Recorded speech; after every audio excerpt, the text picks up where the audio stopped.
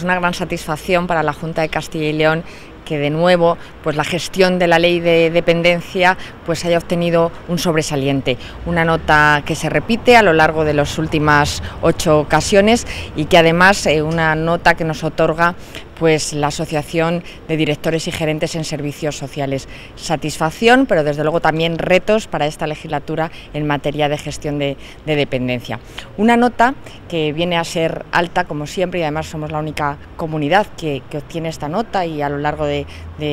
ocho ocasiones consecutivas, que además eh, viene refrendada lógicamente por la gestión que ha hecho la Junta de Castilla y León, pero también en colaboración con las entidades locales y con el resto de administraciones.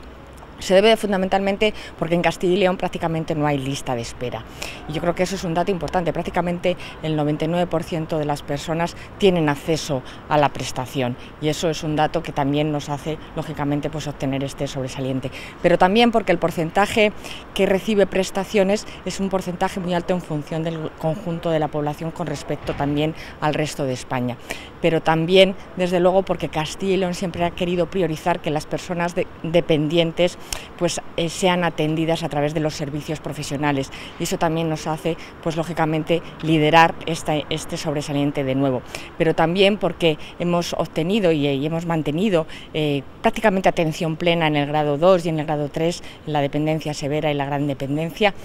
y a, pesar de que Castilla y León sigue, tiene prácticamente a todas las personas en ese grado 2 y 3 prácticamente atendidas, hemos seguido este, en este último año ampliando lógicamente la atención a, personas con esas dependencias. Y por eso también yo creo que el éxito de,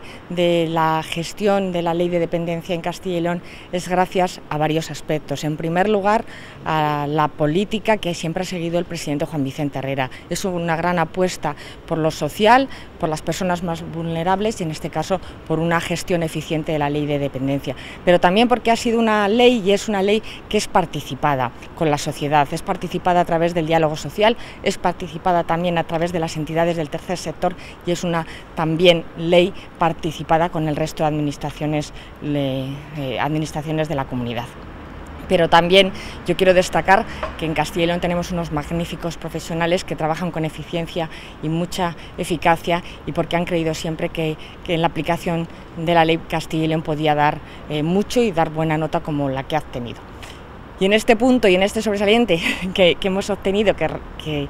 sin ninguna duda ha sido difícil llegar aquí eh, de nuevo y volver a mantener este sobresaliente, pues tenemos que seguir manteniendo y mejorando lógicamente el sistema de servicios sociales de atención a la dependencia. Y tenemos grandes retos, claro, para esta legislatura. El primero de ellos es fundamentalmente pues, que queremos ir incorporando progresivamente, pero también em, con la mayor celeridad, a los más de 20.000 eh, personas dependientes del grado 1. Eso es un objetivo que tenemos, pero que ya hemos dado los primeros pasos desde este 1 de julio, que son que 7.500 expedientes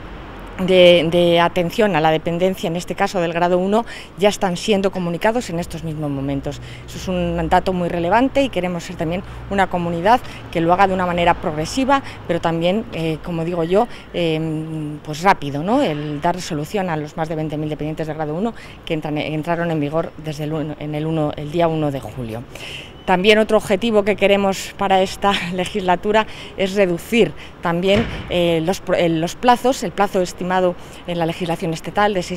seis, meses para dejarlo en tres meses, que es el plazo pues, que se tarda en resolver los diferentes expedientes. Queremos que esos expedientes se resuelvan con la mayor celeridad también, de una manera progresiva y pasar de los seis meses que establece la legislación estatal a eh, a un tiempo reducido de tres meses. Y también, pues lógicamente, eh, queremos, eh, y lo vamos a hacer en esta legislatura, pues es reforzar la figura del asistente personal, que yo creo que también es importante en esta materia, en la materia de, que estamos analizando y que yo creo que es un objetivo que debemos seguir. Por lo tanto, una gran noticia que la Asociación de Directores y Gerentes hayan otorgado una nota elevada, un sobresaliente a Castilla y León, que es gracias, lógicamente, siempre a la prioridad de nuestro presidente Juan Vicente Herrera, gracias a la participación del diálogo social y de, también de las corporaciones locales y también de las entidades del tercer sector